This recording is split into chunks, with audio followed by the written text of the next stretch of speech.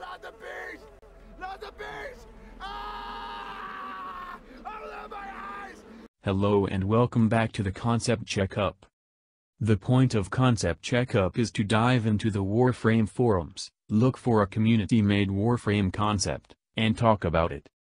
For the purpose of Concept Checkup, I will use my custom-built evaluating method known as AS. Without further ado, let's begin the checkup. For today's checkup we have Hexa, the Hornet Warframe.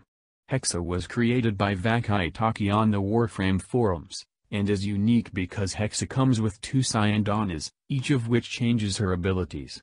The Mother of Swarm Syandana is Hexa's standard one, which gives her the Queen set of abilities. The Sting Syandana can be dropped from Eximus units like Oberon parts, and it gives Hexa the Huntress set of abilities. Both the Mother of Swarm and Sting Syandanas are exclusive to Hexa alone, so to any of you that are hardcore fashion frame people, tough luck. With high health, average shields and armor, and a low energy capacity, Hexa is clearly not a squishy frame as you'd think it be is. Let's start with the Mother of Swarm Syandana, which gives Hexa the Queen abilities, which are defensive. With the Queen group of abilities, Hexa's passive is Hornet Swarm. Any allies that have Hornets on them take less damage and become immune to elemental damage. This might sound a bit weird and or specific, and it is, because it functions with one of Hexa's abilities, which I will get into later. Hexa's first queen ability is Hive. Hexa throws out a hive, which will remain where it was thrown, much like Vauban's Tesla.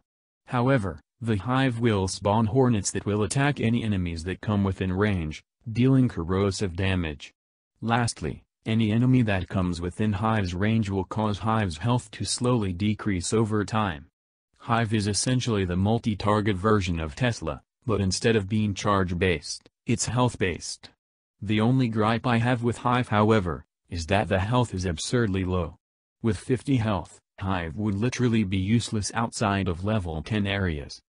Hexa's second queen ability is Bastion. Hexa creates a wall of hornets, preventing enemies and bullets from passing through, but allowing allies to pass through and fire through. Bastion's health is low, but it regenerates over time. Again, Bastion suffers from low health much like Hive. The regenerative barricade sounds really appealing to use to permanently block off an area to enemies, but the low health sets it back. Hex's third queen ability is Collector. Hexa can target an ally and cover them in a living shield of hornets. The hornets will attack any nearby enemy and leech off their health and shields, increasing their ally host's health and shields. Going back to Hex's hornet swarm passive, Collector basically turns any ally into a walking tank completely immune to elemental procs and capable of damaging anything that gets too close. Needless to say, Collector's protect an ally idea is great, as it would make Queen Hex a unique teammate defender frame. However, the elemental immunity is a bit too much, and considering that Collector is a shield of hornets, it would make sense to remove the elemental immunity. Hex's fourth queen ability is Empire. Kind of like Inaros' Scarab Swarm, Hexa sends out hornets to destroy everything in a target area, dealing corrosive and toxin damage. Empire is health-based rather than duration-based, and it suffers from the same health drain drawback as Hive. It seems that despite being a defensive setup, the Queen set of Hexa's abilities suffers from low health, which would make Hexa pointless in high-level missions. Due to that, the first thing for Hexa that has to be fixed is the disturbingly low amounts of health. Now for Hexa's Sting Syandana, which gives her the offensive Huntress set of abilities. Hexa's Huntress passive is Hunting Season. All teammates in Hexa's squad gain a movement speed and damage buff. This passive is one of the more straightforward ones I've seen, which is a good and bad thing. On one hand, the additional damage and speed is always of use, but on the other, it's a really basic passive. Something else unique could have taken its place but instead Hexa has a buff passive. I mean, it's useful, but it could have been something else. Hexa's first Huntress ability is Wings. Hexa grows wings on her back, allowing her to fly. However, Hexa's wings are health-based, and drain depending on how far Hexa travels. The drain rate on wings is unknown, So for now it's impossible to say whether or not Wings needs a health buff like Empire and Hive. What I find curious is that Hexa has the ability to fly, meanwhile Zephyr can't do that, despite being the air elemental warframe.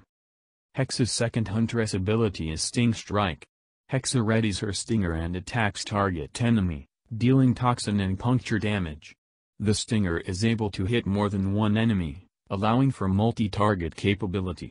Getting a high power strength on Hexa can let her deal big amounts of damage as well as deliver toxin and puncture procs, to multiple enemies.